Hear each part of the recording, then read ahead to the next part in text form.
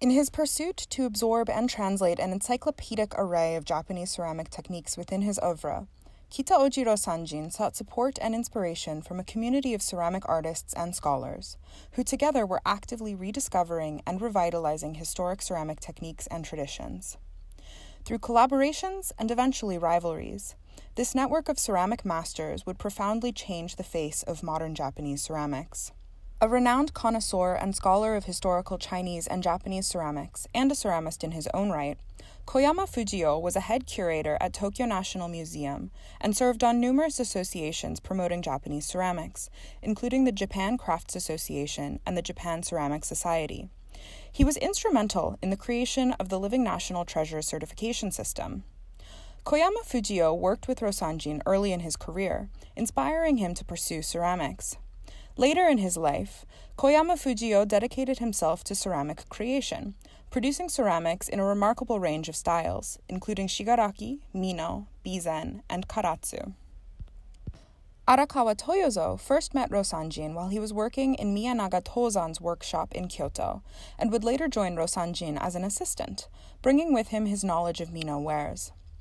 While working for Rosanjin, Arakawa conducted research on the origins of Shino wares by excavating ancient kilns, eventually making the astonishing discovery that Shino techniques originated in Mino.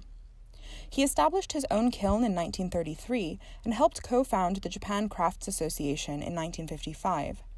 That same year, he was designated a living national treasure for his work in Shino and black seto wares, which angered Rosanjin, who had not yet been so designated.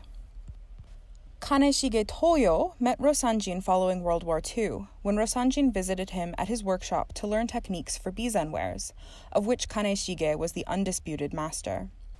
Over years of dedicated experimentation and research, Kaneshige had rediscovered long lost methods of bizen clay preparation, kiln building, and firing techniques, work that would earn him the designation of Living National Treasure for bizen ceramics in 1956.